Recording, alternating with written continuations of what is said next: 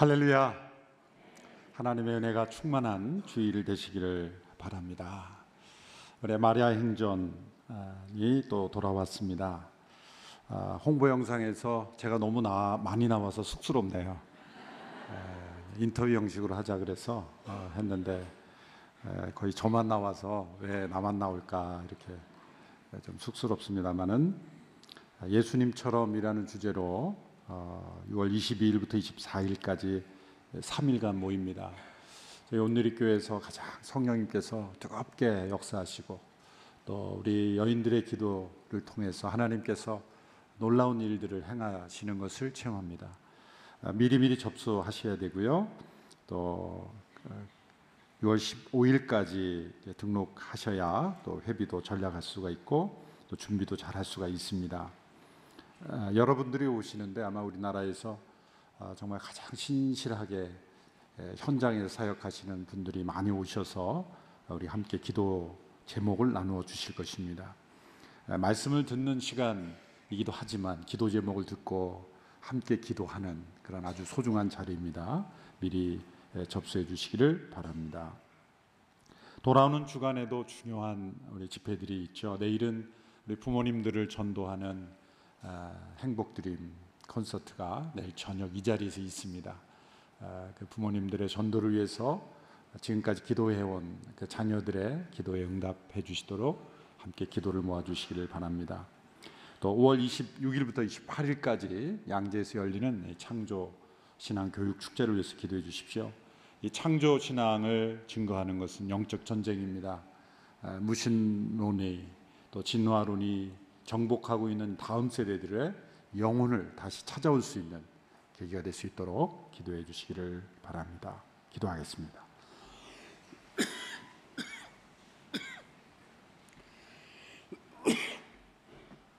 하나님 아버지, 오늘도 복된 주의를 우리에게 허락하시고 하나님께서 오늘 이 교회를 통해 열방에 주의 축복을 나눌 수 있는 은총 주셔서 감사합니다. 러브 소나타를 은혜롭게 마치게 하시고 이제 복음을 들은 많은 영혼들이 주님 앞에 온전히 나올 수 있도록 계속해서 역사하여 주시기를 간절히 원합니다. 부모님들을 전도하고 우리의 다음 세대들에게 창조의 신앙을 교육하는 일들 모든 일들 가운데 또 나라와 민족을 위하여 기도하는 모임 가운데 함께하여 주시옵소서. 오늘도 기록된 말씀을 통하여 우리 영혼에 주님의 말씀을 듣게 하시고 우리의 영혼이 다시 깨어나는 복된 시간이 되게 하여 주시옵소서. 예수님의 이름으로 기도하옵나이다. 아멘. 억울한 상황에서 자신의 입장을 해명해 보신 적이 있으십니까? 이 해명과 변명은 다르죠. 변명은 구차한 것입니다. 진실을 왜곡하는 것이 변명이라고 한다면 해명은 진실을 밝히 드러내는 것입니다. 진실이 있다 할지라도 억울한 상황에 처하게 되면 감정적으로 어, 무너지게 됩니다. 당황하게 되고 또 흥분하게 됩니다.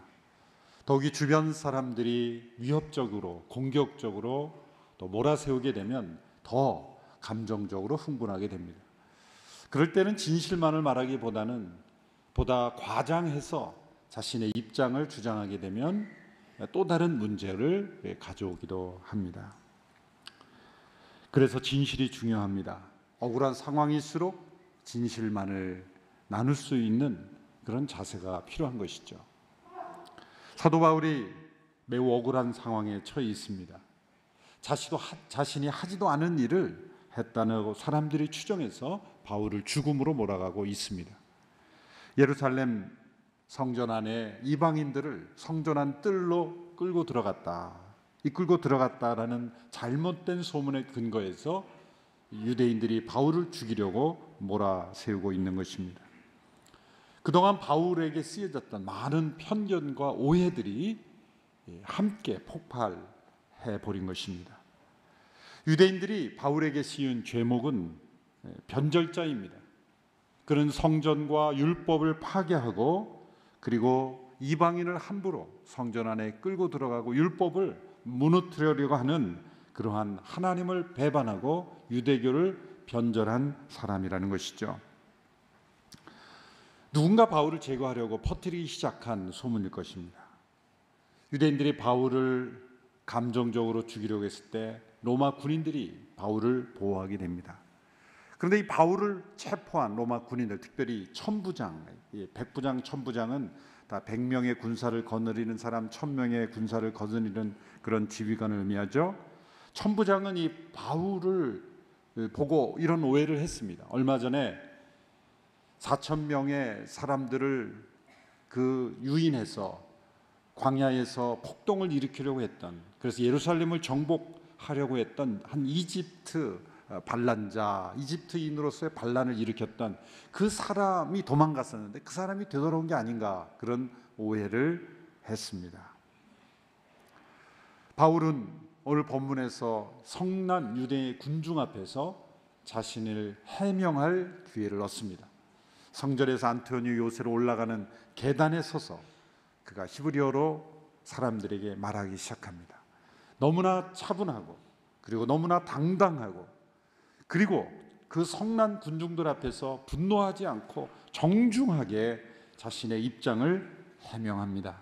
이 해명이라는 단어가 쓰였는데요. 영어로는 이 defense, make a defense, defense라는 단어로 거의 번역을 했습니다만 그보다 훨씬 더 적극적인 의미입니다. 이 아폴로기아라는 말은 베드로전서 3장 15절에 보면 이런 말씀이 있죠. 너희가 예수 그리스도를 주로 삼아 거룩하게 하고 너희 안에 있는 소망에 관한 이유를 묻는 자에게는 대답할 것을 항상 준비하되 그런 말씀이 있죠. 그래서 대답하되라는 말 같은 단어입니다.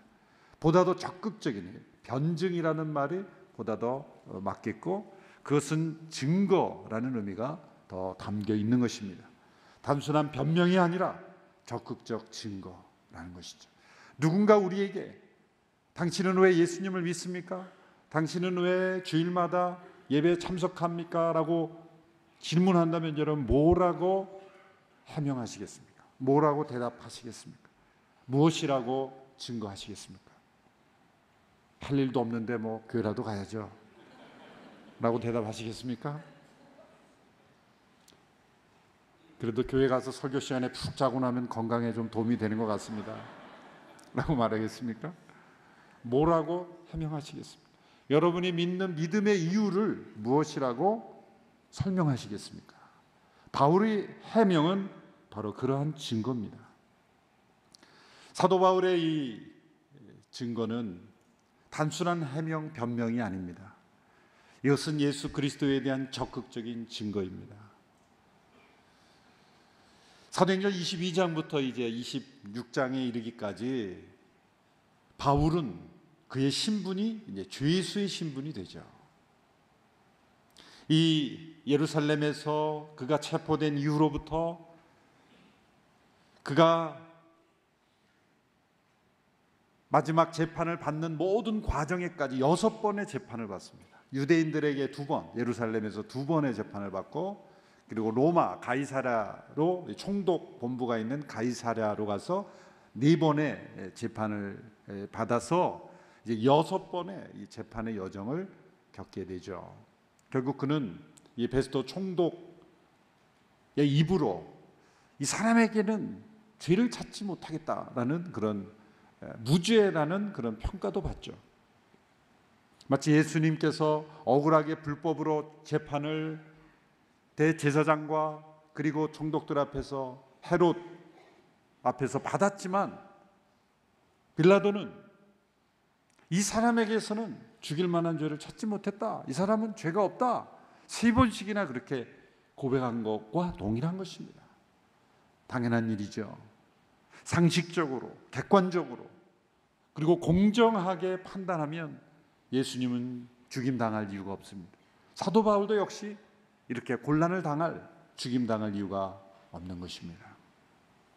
그래서 어느 학자는 22장부터의 바울의 여정을 죄수의 여정이다. 그래서 the prison prisoner's progress. 이건 Pil- Pilgrim 그 천로 역정 Pilgrim's Progress에서 단어를 가져온 것 같습니다. 죄수의 역정, 죄수의 여정을 통해서 무엇을 보여줍니까? 사도 바울은 자신이 억울함을 변명하고 자신이 얼마나 억울한가를 설명하지 않고 이 과정을 통해서 살아계신 부활하신 예수님을 증거하는 그러한 여정으로 삼는 것입니다. 얼마나 멋진 모습인지 모릅니다. 오늘 이 첫 번째 이 과정에서 그는 자신의 일어난 이런 변화가 유대교에 대한 변절이 아니라 배신이 아니라 부활하신 주님을 만남으로 인해서 자신에게 일어난 변화 더 적극적인 단어로 표현하면 변혁이다 이렇게 말할 수 있죠. Transformation. 단순한 어떤 삶의 변화기보다 변혁은 보다 근본적인 것입니다. 옛사람이 변하여 새사람이 되는 것입니다. 근본적인 변화를 일어나는 것을 변혁이라고 말할 수가 있습니다. 그는 많은 유대인들에게 자신이 얼마나 율법에 충성스러운 사람이었는가를 설명합니다. 엄격한 율법 훈련을 받았습니다. 가말리엘이라는 유명한 그런 율법학자로부터 교육을 받은 사람입니다. 나는 유대교에 충성했던 사람입니다. 당신들이 믿는 그 하나님을 나도 믿고 그리고 열심을 믿었고 충성을 했던 사람입니다.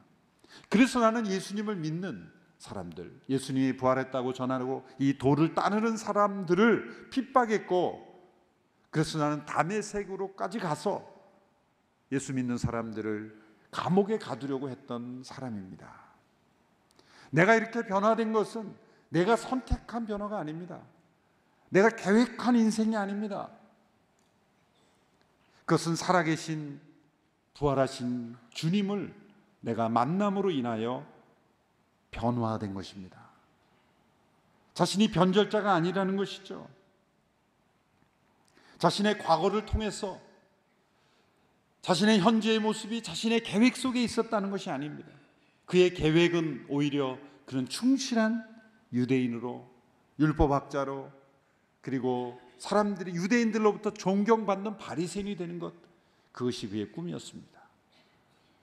그는 자신이 왜 이런 사람이 되었는가를 해명함으로써 부활하시고 살아계신 주님을 증거합니다. 바울이 이러한 변화를 가져온 그의 변혁은 어디에서 비롯됐습니까? 그의 지식이 아니라 부활하신 예수님과의 만남에서 일어난 것이죠. 그래서 그가 다메섹 도상으로 갈 때, 다메섹으로 거의 가까이 왔을 때 그에게 일어난 어떤 체험을 간증하는 거죠. 여러분 우리의 믿음은 지식을 가지고 있는 것이지만 사실 그 지식은 만남에서 나온 지식이야 합니다. 많은 성경 지식을 머리에 채운다고 믿음이 생겨나는 것이 아니죠. 살아계시 그리고 부활하셔서 지금도 살아계시며 우리 가운데 임재하고 계신 그리스도를 만남으로 우리가 변화되는 것이죠. 지식은 내 머리에 채우는 것입니다. 그래서 때로는 많은 지식을 채울수록 교만하게 되고 자기 지식 속에 갇힐 수가 있는 거예요. 많은 신학 지식, 성경 지식을 가지고도 예수님을 믿지 않을 수도 있게 되는 것이죠. 그럼 만남은 다릅니다. 만남은 내 지식을 변화시킵니다. 만남은 내 지식이 변화될 것을 요구합니다. 누군가를 만남으로써 내 생각이 바뀌고 그리고 나의 존재가 변화되는 거예요. 바울은 예수님을 만남으로써 그가 변화된 거예요. 예수님이 그를 찾아오신 거죠. 그가 계획했던 만남이 아닙니다. 기대했던 만남도 아닙니다. 그리고 있을 수 없다라고 생각했던 만남이었습니다. 그러나 부활하신 예수님이 그에게 임재하심으로 그의 인생은 완전히 변화된 것입니다. 여러분 온전한 믿음은 언제나 이런 만남에서 옵니다.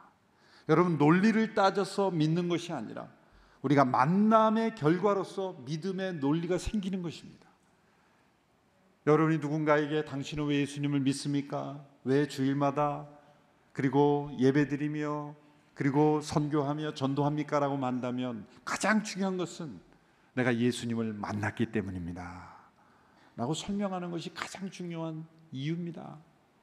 내가 알고 있는 지식으로 설명하는 것보다 더 중요한 것은 부활하신 예수님을 만난 것입니다.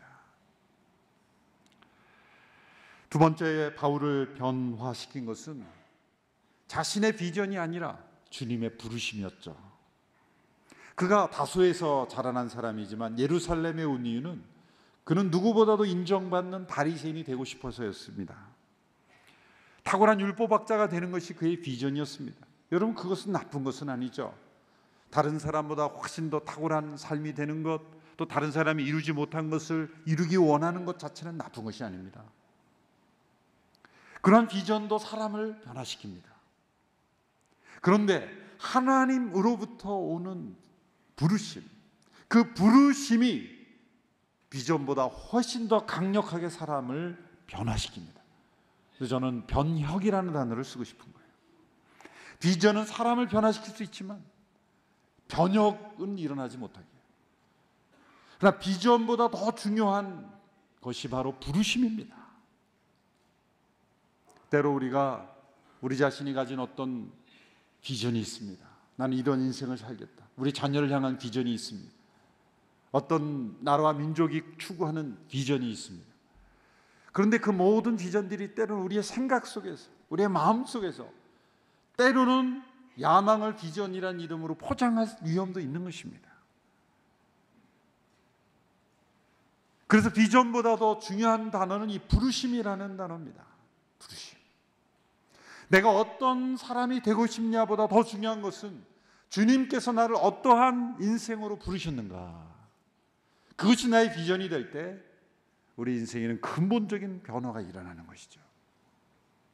사도 바울이 예수님을 전하는 사람이 되는 것이 비전이었습니까? 아니죠. 그는 탁월한 율법학자요, 탁월한 성공적인 바리새인이 되는 것이 비전이었습니다.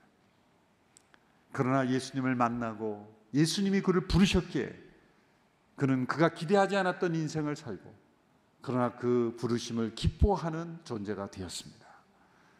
여러분 이 부르심이 우리 모두에게도 확인될 수 있게 되기를 바랍니다. 이것은 어린 청소년에게만 필요한 단어가 아닙니다.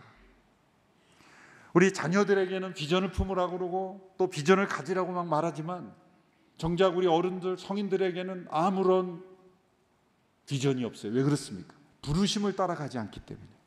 이 부르심은 우리가 주님 앞에 서는 그날까지 쫓아가는 것입니다. 은퇴하면 끝나는 것이 아니에요. 세상의 비전은 우리의 직업에서 은퇴하면 끝날 수도 있어요. 그러나 부르심은 어떤 연령에 이르렀든지 어떤 상황에 이르렀든지 주님 다시 오시는 그날까지 우리가 쫓아가는 것이 부르심이에요.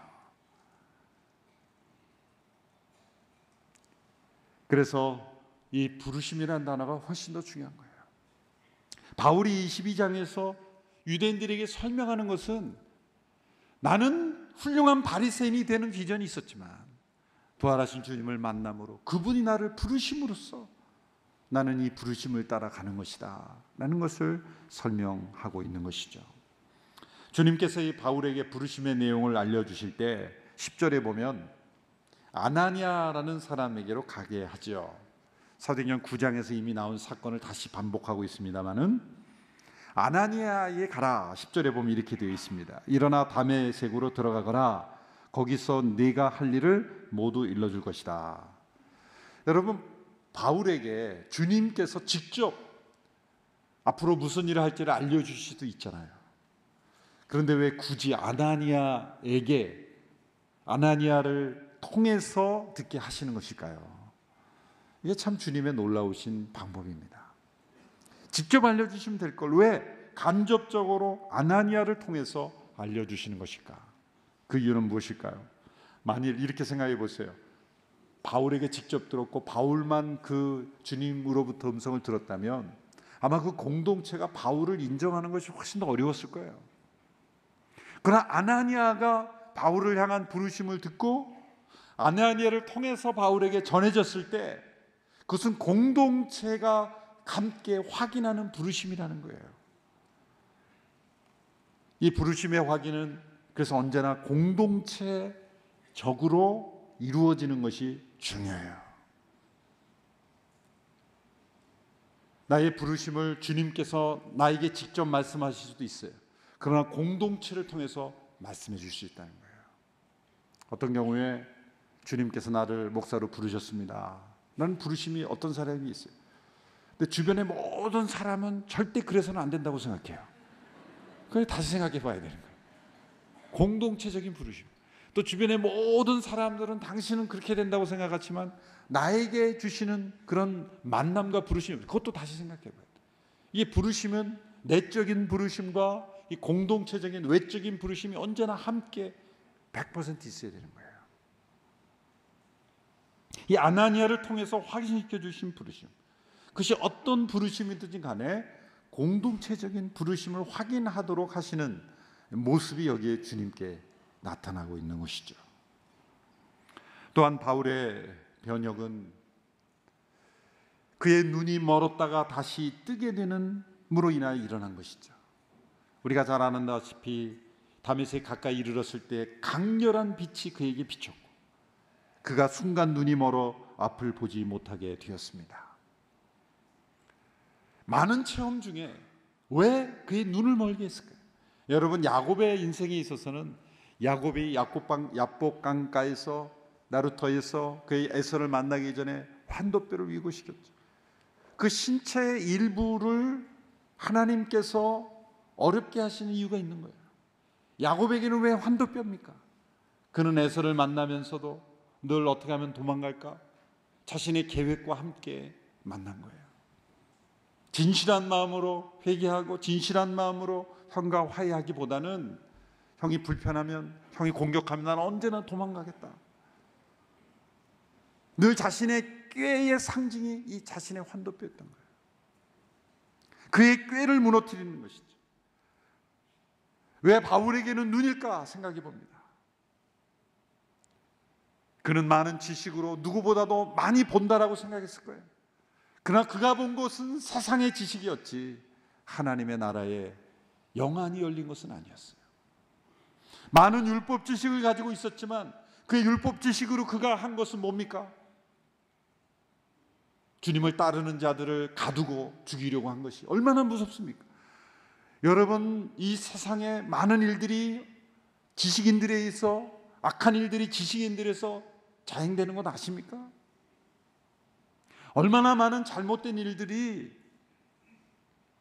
많이 지식을 갖고 있는 사람들에서 저질러집니까? 순박한 농부가 잘못하는 한 것과 공부를 많이 한 지식을 가지고 있는 사람이 잘못하는 걸 비교해 보면 비교가 되지 않아요, 사실. 많은 지식이 우리의 영을 눈을 뜨게 하는 것 같지만 사실 지식의 눈을 뜸으로써 우리는 영의 눈을 가두게 되는 거예요. 계몽주의 시대 늘 인라이트먼트 눈을 떴다라고 표현하죠. 눈을 떴다는 게 지식의 눈을 떴어요. 인본주의 지식의 눈을 떴어요. 인문학의 발달하고 과학이 발달했어요. 근데 놀라운 것은 영적인 눈은 감게 되었다는 거예요. 사도 바울이 그의 지식이 최고에 도달했을 때 그는 지식의 눈은 떴지만 영의 눈은 감겼어요. 주님께서 그에게 나타나실 때 그의 육체적인 눈을 순간 멀게 하심으로 뭘 깨달았어요? 그가 눈을 멀게 된 순간 그는 영의 눈을 뜨게 된 거예요. 우리는 세상에 대해서 얼마나 눈을 크게 뜨고 삽니까? 그래서 영의 눈을 뜨지 못하는 거예요. 세상에 대해서 눈을 감게 될 때 우리는 하나님을 보게 되고 하나님의 나라의 역사를 보게 되는 것입니다. 고린도후서 4장 6절의 말씀을 우리 같이 읽어 보겠습니다. 시작. 어둠에서 빛이 빛이라고 명하신 하나님께서 우리의 마음에 예수 그리스도의 얼굴에 있는 하나님의 영광을 아는 빛을 비추셨기 때문입니다. 그 강렬한 빛, 태양빛이 아닙니다. 여러분 세상에서 가장 강렬한 빛이 태양빛이죠. 그런데 태양 자체는 빛이 아닙니다. 태양은 발광체일 뿐입니다. 빛의 근원이신 하나님으로부터 오는 빛이 그에게 비추어진 거예요. 육신의 눈은 잠시 멀었지만 그의 영의 눈을 뜨게 하시는 빛이었던 거예요. 때로 우리에게 다가오는 육신의 고난은 우리의 영을 밝게 하시는 하나님의 임재하심, 우리의 영혼을 뜨게 하시는 빛을 비추어 주신 거예요. 사도행전 9장에도 나왔던 사건이죠. 사울아, 사울아, 내가 어찌하여 나를 핍박하느냐? 여러분 이런 질문 얼마나 인격적입니까? 사울은 예수님을 직접 핍박한 일이 없습니다. 그런데 예수님을 믿는 자들을 핍박하는 것을 예수님은 당신 자신을 핍박하는 것으로 동일시하셨어요. 여기에서 예수님이 머리 되시고 우리가 그분의 지체된 우리가 그리스도 안에 한 몸이라는 것이 발견되는 것이죠.